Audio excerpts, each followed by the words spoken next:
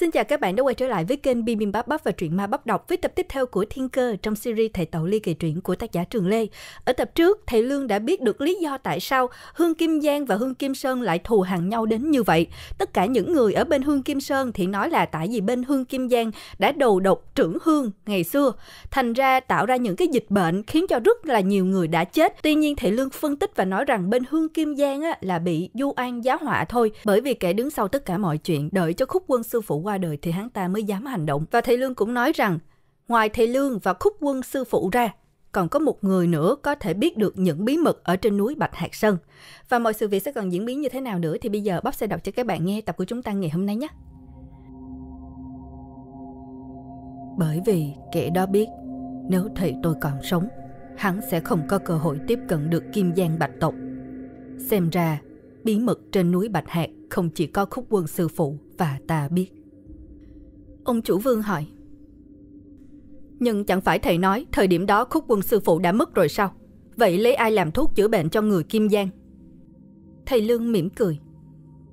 Ngày đến nhà họ Vương còn được thầy tôi cho thuốc, thì tại sao người bên hương Kim Giang lại không có chứ? Ông chủ Vương quên mất rằng, mặc dù thầy tôi đã mất mấy chục năm nay, thế nhưng trên tấm bài vị kia vẫn còn ghi dòng chữ Ta đợi đồ đệ đến từ núi Bạch Hạc sao? Nguyệt khai, tuy một năm chỉ nở một lần, thế nhưng số lượng dân bên Kim Giang không nhiều. Nếu sư phụ tôi đã tính trước được rằng sau khi thầy mất, Kim Giang Bạch tộc sẽ đương đầu với mối họa lớn, thì quá đủ thời gian để thầy bào chế thuốc trị bệnh cho Hương Kim Giang. Có thể thuốc cũng đã được trao lại cho một ai đó trong Hương mà thầy tôi tin tưởng. Và dặn như đã dặn tổ phụ của ông là khi nào cấp bách hãy đem ra dùng. Còn nếu tại sao vợ chồng ông chủ vương thắc mắc không chia thuốc cho Kim Sơn, thì bởi vì bên Kim Giang còn phải bảo vệ một thứ vô cùng quan trọng. Nếu để kẻ có tâm địa xấu tìm được thứ này, không chỉ Kim Giang, Kim Sơn hay Bạch Tộc, mà e rằng cả Trung Hoa này sẽ rơi vào loạn lạc. Thầy tôi thực sự sáng suốt khi đưa ra quyết định này. Thế nhưng, cố gắng của thầy cũng chỉ bảo toàn được cho mọi người thêm khoảng thời gian mấy mươi năm. Khúc quân sư phụ biết kẻ có giả tâm ý chắc chắn không chịu dừng lại. Bởi vậy thầy mới vạch ra con đường để đưa tôi tìm đến đây. Nhà họ Vương. Cây ngân hạnh, căn hầm bí mật bên dưới phòng thờ, tấm bài vị và cả chiếc rương này nữa. Tất cả không phải là sự trùng hợp. Mọi thứ sau khi tôi trở về Bạch Hạc Sơn đã được sư phụ khúc quân định sẵn từ trước. Và đó là lý do tại sao tôi có mặt ở đây. sư phụ vẫn luôn như vậy, lúc nào cũng khiến cho Độ Nhi phải bất ngờ. Lan Lan phu nhân che miệng giấu đi nét mặt hoang mang tột độ. Trận dịch bệnh năm đó đã cướp mất nhiều mạng sống của người dân trong hương Kim Sơn. Vị đạo sư ấy xuất hiện như một bậc tiên nhân, chế ra thuốc chữa bệnh cứu lấy những người Kim Sơn còn đang thoi thóp. Hương Kim Sơn từ trưởng hương cho tới dân thường đều kính trọng ông ta như cha, như mẹ. Sau khi vị đạo sư qua đời, nhà họ Bạch còn trưng cầu ý dân muốn đúc tượng vị đạo sư, xây dựng đền thờ để hương hỏa, nhang khói. Mọi chuyện dự tính khi nào cải tán sẽ lập tức tiến hành. Mới cách đây một tháng, đích thân Bạch Tiên Phong hạ cố đến nhà họ Vương để bàn bạc việc đúc tượng. Lan Lan phu nhân có nghe và biết được, nhà họ Bạch muốn đúc một bức tượng bằng vàng ròng nguyên chất, phỏng theo dung mạo của vị đạo sư. Điện thờ cũng đang được xây dựng, chỉ chờ đến ngày cải tán xong sẽ đưa hài cốt vị đạo sư về đó. Việc này rất được dân Kim Sơn ủng hộ, người có góp nhiều, người không có góp ít, nhưng ai ai cũng đồng lòng. Chỉ có ông chủ vương là thấy việc đúc tượng vàng là quá lãng phí, bởi sẽ cần một số lượng vàng vô cùng lớn. Thế nhưng Bạch Tiên Phong nhất mực cho rằng làm như vậy mới tỏ đủ lòng thành kính tới người đã cứu mạng cả Hương Kim Sơn. Trưởng Hương Kim Sơn hiện tại còn chắc chắn sẽ chuẩn bị đủ số vàng. Chỉ cần ông chủ vương làm sao đúc ra một bức tượng giống y hệt vị đạo sư lúc còn sống là được. Ấy vậy mà qua những gì thầy Lương vừa nói, vợ chồng ông chủ vương giờ đây tỏ ra vô cùng mông lung. Thật thật giả giả lẫn lộn, không biết đâu mà lần. Lời thầy Lương nói có lý, nhưng suy cho cùng cũng chỉ là lời nói một phía. Thế nhưng thầy Lương lại là ân nhân cứu mạng ông chủ vương. Cộng thêm việc mới đây chính nhã tịnh, phu nhân của Bạch Tiên Phong đã bỏ ngải hại chết ông chủ vương. Cuối cùng, trong nhà họ Vương có thờ cúng một nhân vật mà ngay cả tổ phụ ông chủ Vương cũng phải tôn kính. Đó chính là sư phụ của thầy Lương. Nuốt nước bọt, hai vợ chồng ông chủ Vương nhìn nhau, cùng gật đầu. Ông chủ Vương nói. Thầy Lương, chúng tôi tin thầy. Đúng là trong khoảng hơn 2 năm gần đây, nhà họ Bạch bắt đầu có những biểu hiện cũng như hành động khá kỳ lạ. Rất ít khi những người đứng đầu trong phủ họ Bạch đi ra ngoài nếu không phải việc quan trọng. Khác với ngày xưa, họ đôn đáo quan tâm đến dân trong hương, thì mấy năm trở lại đây khá bàng quan. Tôi thì không chú ý lắm bởi mọi thứ vẫn tốt đẹp. Thế nhưng sau khi thầy nói, tôi mới cảm nhận được có điều bất ổn đang diễn ra trong hương Kim Sơn này. Nhờ có sư phụ của thầy mà nhà họ Vương được tồn tại, phát triển đến ngày hôm nay. Nhờ có Nguyệt Khai bên kia hương Kim Giang mà chúng tôi thoát nạn dịch bệnh. Gia đạo nhà họ Vương từ xưa tới nay vẫn luôn căn dặn con cháu đời sau phải sống đặt tâm, đức, tính nghĩa lên hàng đầu. Nhân duyên đưa thầy đến đây như một sự sắp đặt từ trước của ông trời. Đối với nhà họ Vương nói riêng, đối với dân Kim Sơn nói chung là một điều may mắn. Thầy Lương tại thượng, nhận của vợ chồng tôi một lại. Từ nay về sau, xin nghe theo những gì thầy chỉ bảo. Vợ chồng ông chủ Vương quỳ gối ngay ngắn, tính lại thầy Lương thì thầy chép miệng. Thôi thôi, lại ít thôi, lại nhiều tổn thọ. Có câu nói này của hai vị là tôi yên tâm rồi. Tôi còn sợ hai vị sẽ cố chấp mà giao nộp tôi cho nhà họ Bạch ấy chứ. Ngồi ngay ngắn lại, không cần đa lễ. Chẳng phải ông chủ vương từng nói, ngay từ lần đầu tiên gặp tôi đã có cảm giác thấy tôi rất quen thuộc, cứ như người trong nhà hay sao? Mà đã là người trong nhà thì không cần khách khí. Vậy thôi, nhưng đúng là giữa tôi và nhà họ Vương cũng có mối liên quan mật thiết đấy. được rồi, một vài khúc mắc đã được giải đáp. Giờ chúng ta bắt đầu tìm ra phương pháp để mở kết ứng của chiếc trương này. Không biết khúc quân sư phụ để lại bảo vật gì đây? Hy vọng là bảo vật. trương vẫn còn bẩn, phải lau sạch đất đi trước đã. Trong lúc thầy Lương xử lý chiếc rương, Lan Lan phu nhân thấp thỏm đứng ngồi không yên. Thầy Lương hỏi. Phu nhân sao vậy? Có gì đáng lo ư? Lan Lan phu nhân đáp. Nhà chỉ có ba người, mà giờ vợ chồng tôi cùng thầy đều ở dưới tầng hầm này. Có sợ bên trên nhà ai đó đột nhập vào không? Thầy Lương cười trả lời. Đừng lo, người thường sẽ không dám vào, còn ma quỷ cũng sẽ phải tránh xa bởi vì từ lúc phu nhân và ông chủ vương chôn những hòn đá ngũ sắc để trong túi vải đỏ xuống bốn góc tường, thì cũng là lúc tôi tạo ra một kết giới bảo vệ ngôi nhà này. Còn kẻ bỏ ngải ông chủ vương vẫn tin rằng ngải đang ăn mòn lục phủ ngũ tạng của ông ấy, nên chắc giờ vắt tay lên trán ngủ ngon chờ kết quả rồi. Sau khi ông chủ vương chết đi, cũng là lúc ta ra tay diệt trừ ma quỷ.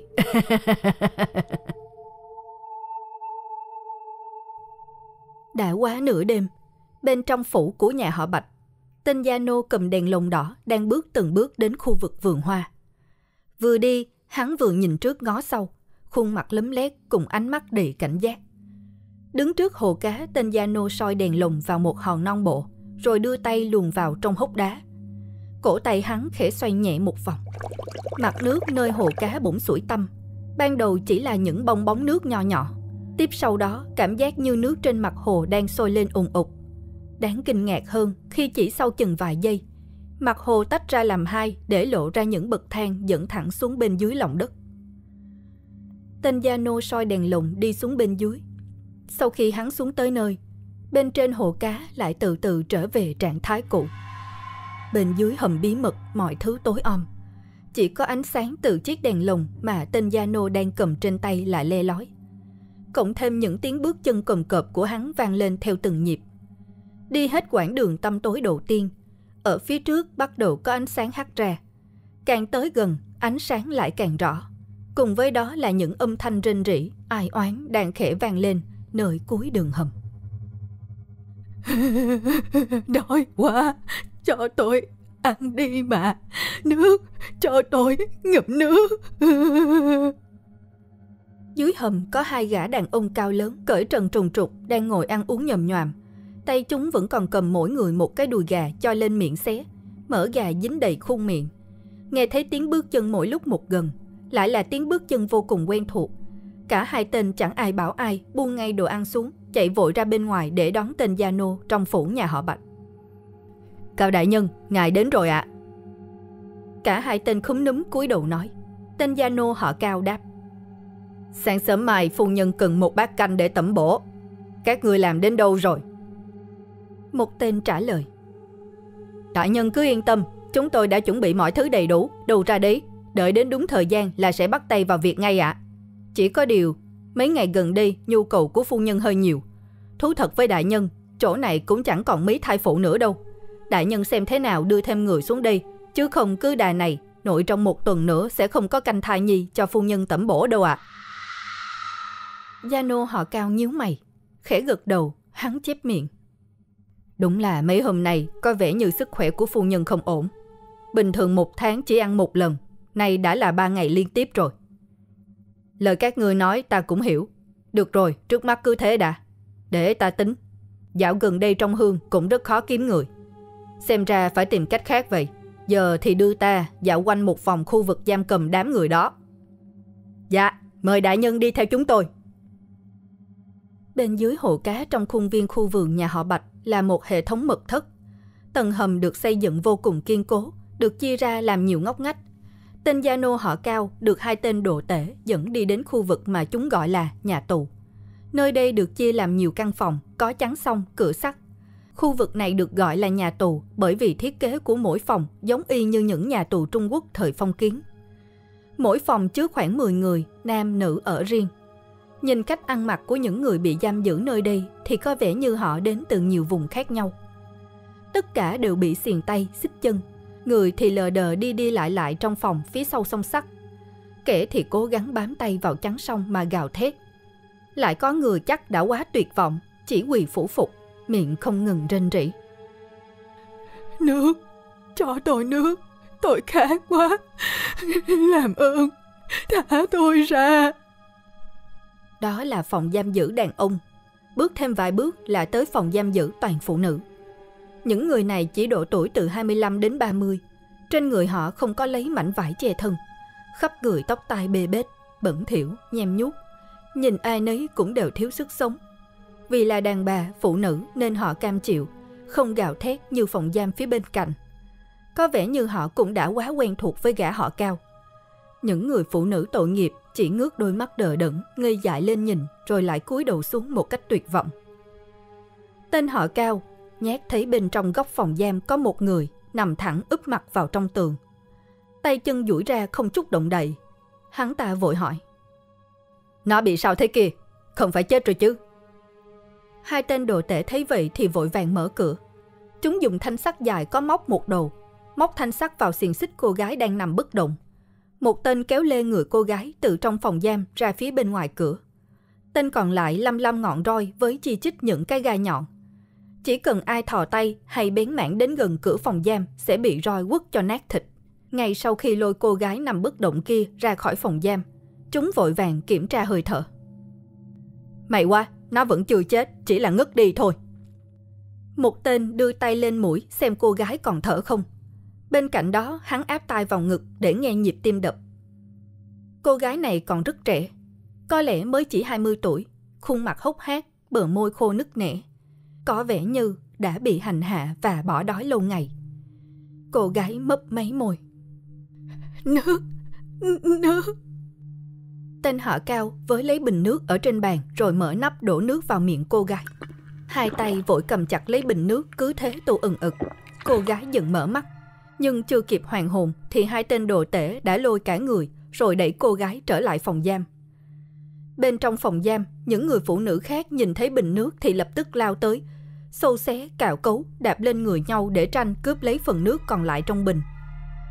Hai tên đồ tể đứng bên ngoài nhìn vào trong thấy cảnh tượng đó mà hả hê cười khoan khoái.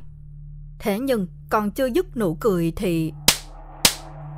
Tên họ cao vung tay tát mạnh vào mặt hai gã đồ tể. Hắn trừng mắt, nghiến răng, gằn giọng nói. Mẹ kiếp chúng mày, chúng mày có biết để bắt được một người xuống dưới này khó khăn thế nào không hả? Tao đã nói với tụi mày là chúng mày muốn hành hạ, muốn làm gì chúng nó thì làm.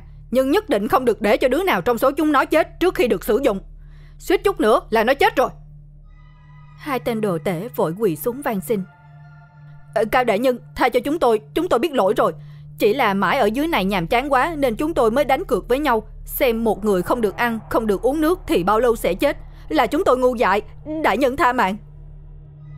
Tên họ cao trừng mắt. Nhàm chán ư, lũ khốn chúng bay ở dưới này có đồ ăn, có rượu, lại có cả đàn bà. Thế mà chúng mày còn kêu nhàm chán. Hay để tao đưa chúng mày lên diện kiến phu nhân. Xem phu nhân sẽ làm gì hai đứa tụi bay. Đừng quên, thay thế chúng mày là điều dễ dàng. Thậm chí nếu muốn tụi bay cũng ngay lập tức trở thành thức ăn Trở thành máu cho phu nhân uống. Nghe rõ chưa? Hai tên đồ tể nghe vậy thì vội vã dập đầu ly lịa. Chúng sợ đến vã mồ hôi hột. Chúng tôi sai rồi. Cao đại nhân cầu xin ngài đừng nói gì với phu nhân. Chúng tôi không dám tái phạm. Đại nhân tha mạng Đại nhân tha mạng. Tên họ cao thở hắt ra. Đứng dậy đi.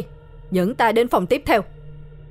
Lâm cơm bò dậy Hai tên đồ tể tiếp tục dẫn đường Chúng đưa gã gia nô họ cao đến một căn phòng tách biệt với hai phòng giam vừa nãy. Phòng này sạch sẽ hơn, trong phòng có hai cái máng bằng gỗ, một máng đựng nước, một máng đựng đồ ăn. Phòng chỉ có ba người phụ nữ và cả ba người này đều đang mang bầu.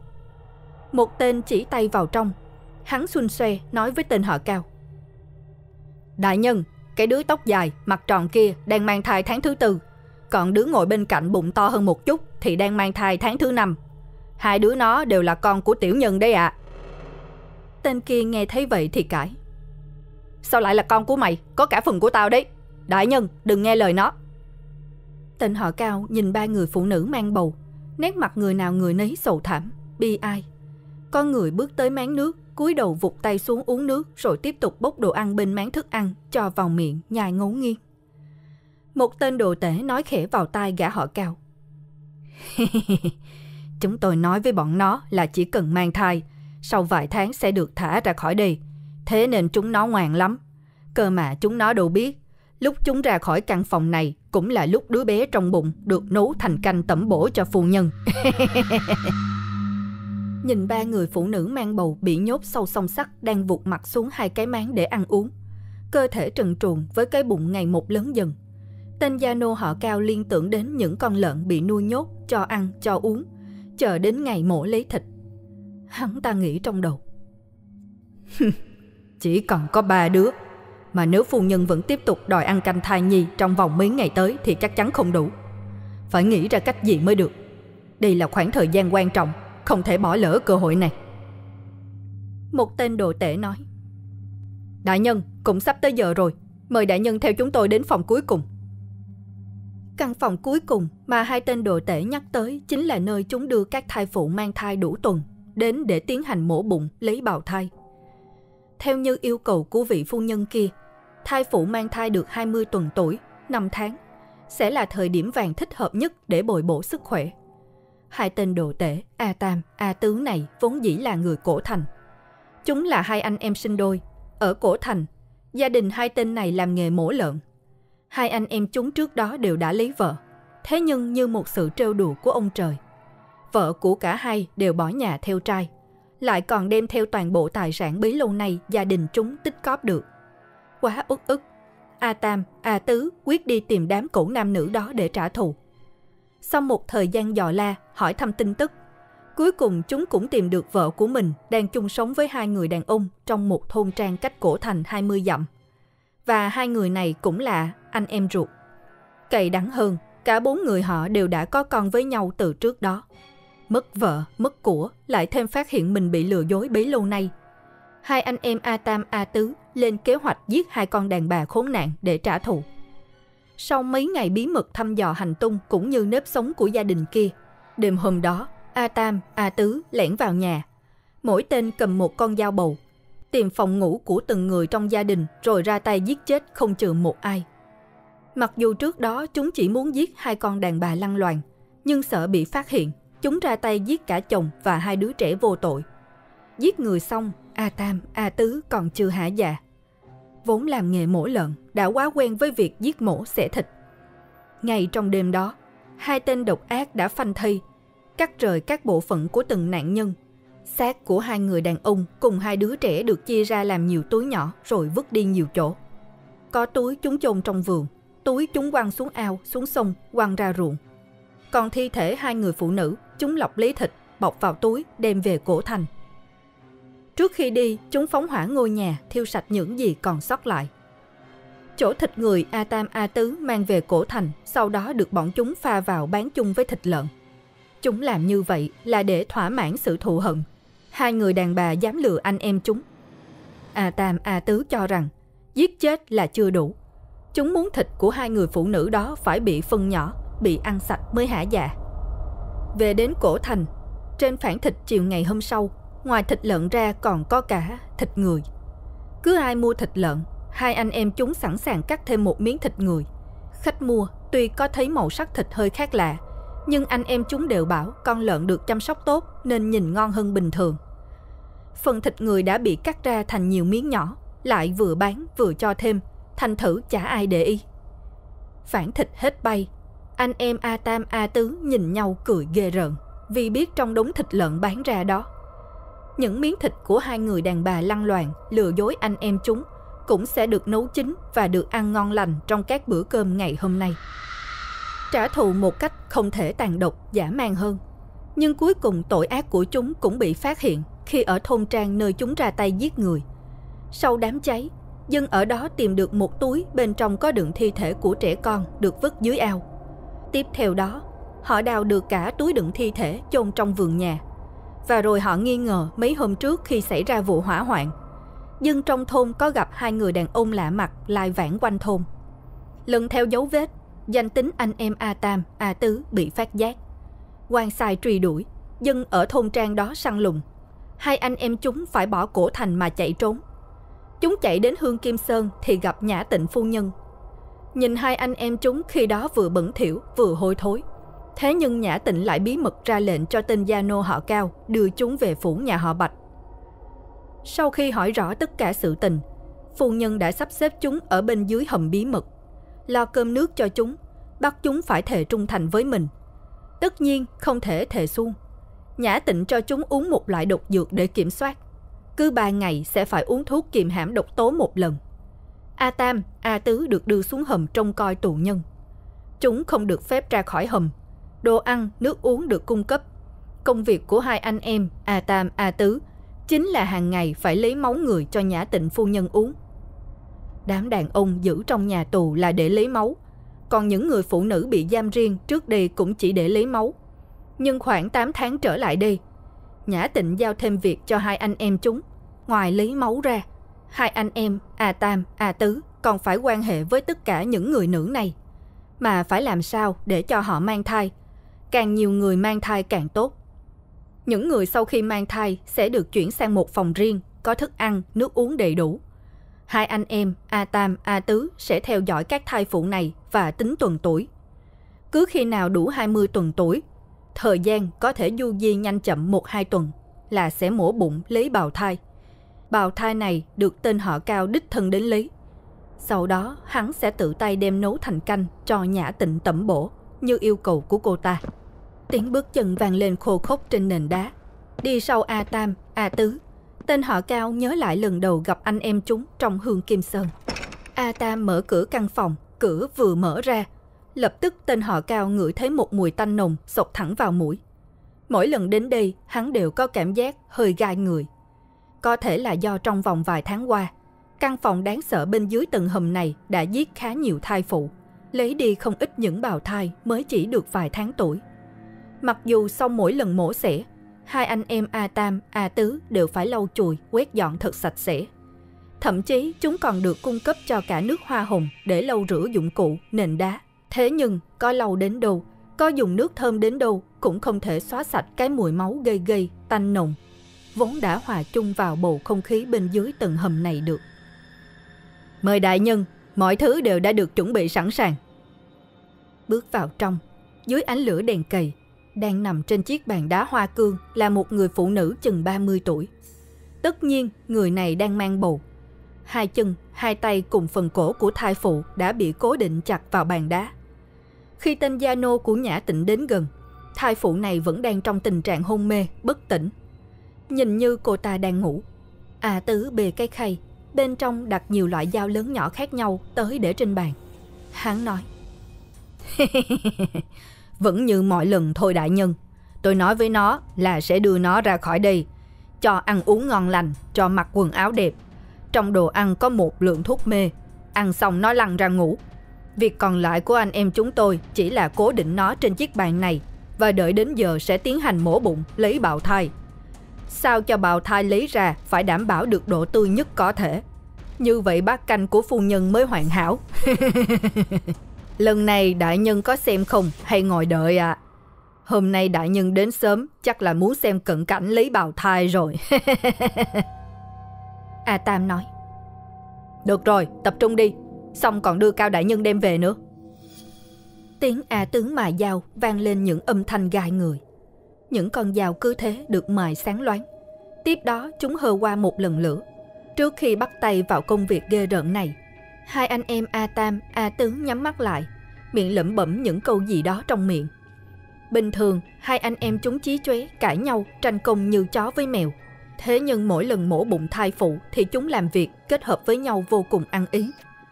Làm thủ tục xong, bọn chúng nhìn nhau mỉm cười rồi gật đầu.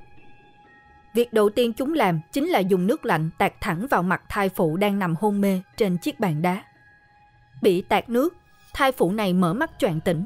Thế nhưng do cả người bị cố định vào bàn đá không thể cử động được. Lại nhận ra trên người mình không có lấy mảnh vải che thân. Bộ quần áo chúng cho thai phụ mặc trước đó đã bị lột sạch. Kinh hoàng hơn khi cô ta nhìn thấy đứng hai bên cạnh mình là hai gã đồ tể, hàng ngày nuôi nhốt con người như gia súc bên dưới nhà tù. Kinh sợ cùng nỗi hoảng loạn tột độ. Cố giải dụa nhưng bất lực. Thai phụ kia chỉ còn cách gào thét trong vô vọng. Thả tôi ra Các người nói sẽ đưa tôi ra khỏi chỗ này cơ mà Làm ơn Tha cho tôi Tôi cầu xin các người Tha cho tôi đi Khuôn mặt tuyệt vọng cùng những lời gào thét cầu xin đó chỉ càng khiến cho hai anh em A Tam, A Tứ cảm thấy hả hê, sảng khoái hơn bao giờ hết. Sau khi bị phản bội, hai tên ác nhân này dường như có thù với tất cả đàn bà, phụ nữ. Bên dưới nhà tù, chúng hành hạ những cô gái bị giam cầm. Hôm bỏ đói, hôm không cho uống nước. Khi thú tính nổi lên, chúng lại lôi họ ra làm trò đồi bại, ghê tởm. Chỉ những người mang thai mới được chúng đối xử tốt hơn một chút, bởi những thai phụ là đồ bổ của nhã tịnh phu nhân người cu mang cũng là người nắm giữ mạng sống của chúng.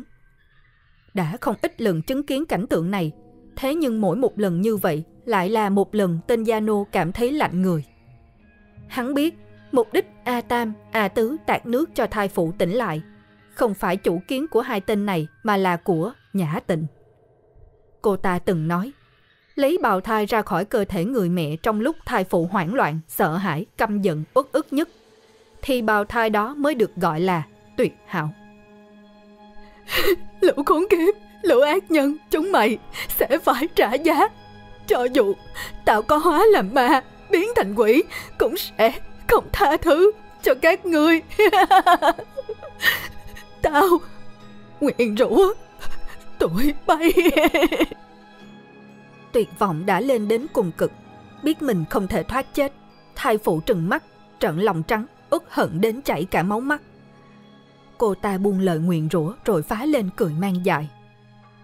Hai anh em A Tam, A Tứ cũng chính là đợi đến thời khắc này. A Tam cầm con dao nhọn sắc lẹm tiến về phía cuối bàn.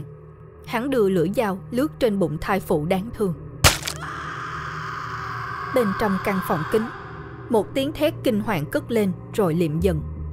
Thai phụ kỳ đã chết. Hai tên đồ tể toàn thân nhúm đầy máu tươi, một tên cầm sẵn chiếc hộp gỗ, bên trong có để một cái thố bằng vàng. Tên còn lại cẩn thận đặt bào thai chúng vừa lấy ra từ trong người thai phụ, đặt vào trong cái thố vàng đó, để nắp thố, để tiếp nắp hộp lại. Chúng nhìn gã họ cao nhoẻn miệng cười, nụ cười của chúng vô cùng ghê rợn. Mời đại nhân đem về cho phu nhân dùng. Cùng thời điểm đó, cũng ở bên dưới tầng hầm nhưng là tầng hầm bí mật của nhà họ Vương. Giữa canh tư, thầy Lương vẫn ngồi lặng im, mắt nhìn chăm chú vào chiếc rương gỗ nhỏ. Sau khi lau sạch đi bụi đất bám trên chiếc rương, thầy Lương vẫn chưa có hành động gì tiếp theo, Lúc này, Lan Lan phu nhân vì mệt quá đã ngồi dựa vào góc tường mà ngủ thiếp đi. Ông chủ vương khẽ lấy tấm vải đắp lên người cho vợ. Bước tới chỗ thầy Lương đang ngồi, ông chủ vương hỏi. Thầy Lương, vẫn chưa tìm ra cách mở chiếc rương này sao? Cũng đã muộn lắm rồi, hay là ta để ngày mai hãy tính? Cả ngày hôm nay thầy cũng đâu có được nghỉ ngơi. Thấy thầy ngồi lặng im nãy giờ, tôi cũng thấy bất an. Thầy Lương đáp. Tuy tôi ngồi im, nhưng lại không phải ngồi im. Gần một canh giờ qua, tôi vẫn luôn tìm mọi cách để có thể hóa giải kết ứng. Hồng mở chiếc trương này thế nhưng không cách nào phù hợp cả. Ban đầu vì nghĩ đây là đồ do khúc quân sư phụ để lại, nên tôi sẽ dễ dàng mở được. Tuy nhiên, càng xem kỹ thì càng thấy không đơn giản như vậy. Ngoài chữ quân được viết trên mặt trương ra, thì không còn điểm đặc biệt nào khác. Áp dụng quy luật của ngũ hành cũng không mở được. Kết ấn này hư hư, thực thực. Nó phản lại với tất cả những loại ấn chú hóa giải mà tôi biết. Thậm chí tôi đã sử dụng cả cách hóa giải phong ấn được ghi chép trong cổ độc kỳ thư. Cũng không có tác dụng. Số cuộc thì chữ quân này có ý nghĩa gì chứ? Nhìn vào chiếc rương, đúng là ngoài chữ quân ra, trên những mặt còn lại không có điểm gì đặc biệt. Rương cũng không hề có ổ khóa, dùng sức mở không ra. Ông chủ vương nói. Hay là để tôi kiếm thứ gì đó đập vỡ nó, biết đâu lại được. Thầy Lương cười. Có dùng búa thì ông cũng không thể nào đập vỡ được chiếc rương này. Sau một canh giờ tìm hiểu thì tôi biết được rằng tuy chiếc rương này được làm bằng gỗ, nhưng trừ khi hóa giải được kết ấn, bằng không đừng mong nó suy chuyển. Để tôi thử cho ông chủ vương xem. Dứt lời, thầy Lương cầm chiếc rương, thẳng tay ném mạnh chiếc rương vào bức tường trước mặt. Rương rơi xuống đất, vẫn giữ nguyên hiện trạng, không mảy may bị một vết nứt, vỡ hay lõm nào. Cảm tưởng lúc ném vào tường, chiếc trương cứ như một khối sắt vung vắn nặng trịch. Cầm chiếc trương lên, ông chủ vương lắc đầu ngao ngang. Cách này không được, cách kia không được. Vậy làm sao mới mở được đây? Hay là bỏ đi hả thầy? Thầy Lương mỉm cười. Bỏ là bỏ thế nào? Bằng mọi giá tôi cũng phải mở được chiếc trương này. Ông chủ vườn nếu mệt, hãy dựa lưng nghỉ ngơi một chút. Chuyện chiếc rương cứ giao cho tôi. Từ giờ đến sáng, tôi phải luận được cách để mở rương. Thở hắt ra, ông chủ vương lúc này đã thấm mệt, hai mắt díu lại, toàn thân ê ẩm. Cứ ngồi nhìn chiếc rương mãi cũng không phải cách hay. Thầy Lương đã nói như vậy nên ông chủ vương xin phép dựa lưng nơi góc tường gần vợ để nghỉ ngơi một chút. Cuối canh tư, thêm nửa canh giờ nữa đã trôi qua. Suốt khoảng thời gian đó, trong lúc vợ chồng ông chủ vương ngồi tựa vào nhau mà ngủ gà ngủ gật, thì thầy Lương vẫn tập trung hết khả năng để tìm cách hóa giải kết ấn. Bao nhiêu năm qua, bôn ba khắp nơi, đã từng giải không biết bao nhiêu là loại bùa ngải, phá vỡ nhiều trận đồ phong ấn từ cổ chí kim. Ấy vậy mà ngồi trước chiếc trương nhìn rất đơn giản, thầy Lương lại chưa thể tìm được nguyên lý trong việc thi triển kết ấn. Cả sáu mặt chỉ có độc nhất một chữ quân. Với khả năng của mình, thầy Lương biết chữ quân này là bút pháp của khúc quân sư phụ. Chính chữ quân đang tỏa ra một nguồn năng lượng bảo vệ chiếc rương khi có bất cứ tác động, thư ếm bùa chú muốn xâm phạm nhằm phá bỏ kết ứng. Nói cho đơn giản, muốn mở được chiếc rương này thì phải tìm ra cách triệt tiêu đi nguồn năng lượng, pháp lực từ chữ quân kia. Nghe thì tưởng chừng dễ dàng, thế nhưng đã sử dụng mọi cách, chiếc rương vẫn không thể nào có chuyển biến. Nhìn lên di ảnh của khúc quân sư phụ, thầy Lương tự hỏi. Sư phụ, người đi nước cờ này hiểm quá. Chắc có lẽ đồ nhi bó tay rồi. Do đồ nhi kém cỏi, không thể mở được nó ra. Đồ nhi chỉ có một thắc mắc là tại sao sư phụ không để chiếc rương này trên núi Bạch Hạc, mà lại chôn ở trong nhà họ Vương. Vừa nói, vừa nhìn vào bức họa truyền thần vẽ khúc quân sư phụ. Đột nhiên thầy Lương ngớ người. Ngay trong câu hỏi của thầy Lương dường như đã có câu trả lời. Cầm chiếc rương lên nhìn, thầy Lương tiếp. Đúng vậy, nếu là dành cho ta thì tại sao sư phụ không để lại trên núi Bạch hạt mà phải chôn ở đây? Rõ ràng là có liên quan đến nhà họ Vương. Khúc trong trung khúc, quân trong quân vương. Trong đầu thầy Lương nhớ lại câu nói của ông chủ vương khi thầy nhắc tới tên của khúc quân sư phụ. Căng mắt nhìn lại một lần nữa chữ quân trên mặt trương. Thầy Lương ấp úng nói.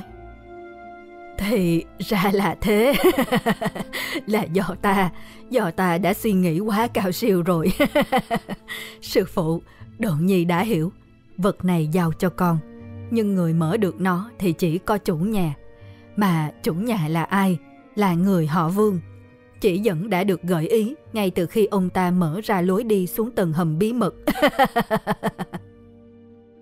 Tiếng cười của thầy Lương khiến vợ chồng ông chủ vương tỉnh giấc Lan Lan phu nhân dụi dụi mắt, thấy thầy Lương hai tay cầm chiếc rương hướng về phía bàn thờ cứ thế mà cười. Thì sợ hãi gọi chồng dậy. Lão, lão gia, dậy đi, dậy mau, thầy Lương, thầy Lương làm sao ấy? Ông chủ vương mới chợp mắt được chừng nửa canh giờ, hãy còn ngái ngủ. Nghe vợ nói vậy thì mắt nhắm mắt mở, hỏi lại. Làm sao là làm sao? Thầy ấy chắc vẫn đang ngồi nhìn cái rương chứ gì? Hai vợ chồng còn đang mãi nhìn thì đột ngột thầy Lương quay đầu về phía họ. Nhoảng miệng cười, thầy Lương nói bằng một giọng đầy nguy hiểm. Hai người dậy rồi sao? Đúng lúc lắm. Ông chủ vương, tôi có chuyện muốn nhờ ông đây.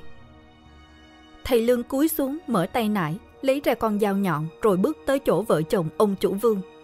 Dưới ánh đèn dầu lập lòe, bóng thầy Lương in trên bờ tường tay cầm dao nhọn, nom đáng sợ vô cùng. Lan Lan phu nhân rùng mình rung cầm cập. Thấy vợ như vậy thì bất giác ông chủ vương cũng sợ theo. Ông chủ vương ấp úng hỏi. Thầy, thầy, thầy định là, là, là làm gì vậy? Thầy Lương mỉm cười trả lời. Tôi muốn xin ông tí huyết ấy mà. Lại đây nào, chúng ta sẽ mở chiếc rương này. Bình thường, nghe điệu cười của thầy Lương rất chi là thống khoái, thoải mái. Thế mà giờ chẳng hiểu sao vợ chồng ông chủ vương lại sẵn cả gai ốc mỗi khi thầy Lương cười. Ông chủ vương rung giọng. Thầy lại lấy máu tôi à? Nh- nhưng mà tôi, tôi sợ lắm. Nhận thấy vợ chồng ông chủ vương đang hốt hoảng. Nhìn sang bên tường, thấy bóng của mình in trên đó, đúng là có chút đáng sợ. Lại thêm con dao nhọn trên tay, Thầy Lương hiểu ra vấn đề. Biết vợ chồng họ mới ngủ dậy, mắt mũi, đầu óc còn chưa được minh mẫn. Thầy Lương phá lên cười. Đừng sợ, tôi chỉ là muốn chích ở đầu ngón tay ông chủ vương và giọt máu mà thôi. Bộ nom tôi đáng sợ lắm mà. Lan Lan phu nhân gật đầu li lịa. Thầy Lương ngồi xuống bên ngọn đèn dầu, đặt chiếc rương trước mặt vợ chồng ông chủ vương. Thầy Lương nói. Sau hơn một canh giờ tìm hiểu, cuối cùng tôi cũng luận ra được cách để hóa giải kết ấn bảo vệ chiếc rương này. Cứ nghĩ sâu xa, cao siêu, thành thử ra lại đi vào ngõ cụt. Thực chất để mở chiếc rương này không khó, nói vậy cũng không hẳn là dễ, bởi phải phụ thuộc vào một yếu tố vô cùng quan trọng. Ông chủ vương hỏi, có phải là máu của người nhà họ vương? Thầy Lương đáp, chính xác, Ông chủ vương nói đúng, chính là máu của người nhà họ vương. Thầy tôi đã dùng máu của mình hòa chung với mực viết lên chữ quân trên mặt rương. Giờ ta sẽ dùng máu của ông để viết vào chiếc rương này một chữ vương. Quân vương, trong đó quân đóng vai trò là ổ khóa. Còn vương chính là chìa khóa. Chỉ khi có đầy đủ hai yếu tố này thì rương mới được mở. Thầy tôi chơi chữ, nhưng trong chữ lại là cả một trận đồ đóng mở, biến hóa khôn lường. Đó là lý do vì sao chiếc rương lại được chôn trong vườn nhà họ Vương. Giống như mật thất này, chỉ có máu của người nhà họ Vương mới có thể mở được. Nghe thầy Lương nói, vợ chồng ông chủ Vương há hốc mồm ngạc nhiên vì nó quá hợp lý. Ông chủ Vương hỏi, Thế vậy bây giờ tôi phải làm gì? Thầy Lương cười. Đơn giản thôi. Ông chủ vương dùng máu của mình viết một chữ vương ở mặt đối diện với chữ quân là được. Ông chủ vương làm theo lời thầy Lương chỉ dẫn. Quả nhiên, sau khi viết xong chữ vương thì chiếc rương phát ra tiếng nhạc và lời bài hát. Một bậc quân vương mang trong con tim hình hài đất nước. Đoạn này em đùa thôi.